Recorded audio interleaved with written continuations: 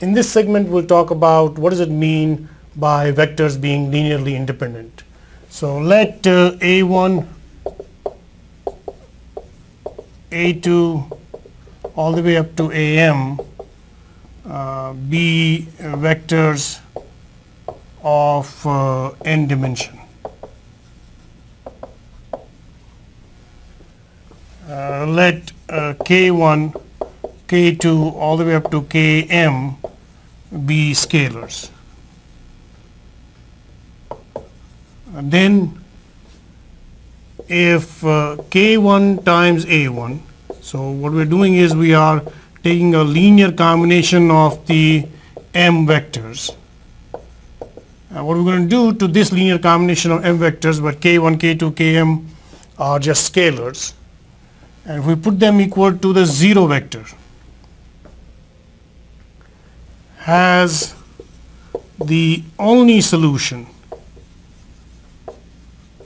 as k1 equal to 0 k2 equal to 0 all the way up to km equal to 0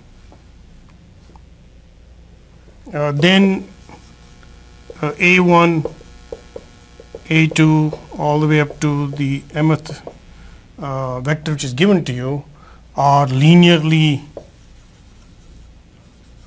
independent it seems obvious that if I put k1, k2 all the way up to km equal to 0, I'll get 0 vector equal to 0 vector. So there is, uh, that's the trivial solution. But if that's the only solution, then it is linearly independent. If you find that, hey, there is some other solution other than the trivial solution, uh, with this one, where k1, all the, all the k's are equal to 0, then it's not considered to be linearly independent, then it's linearly dependent. So if the only solution is the trivial solution, then it's linearly independent. If you have more than one solution other than the trivial solution, then it's considered to be linearly dependent. And that's the end of uh, this segment.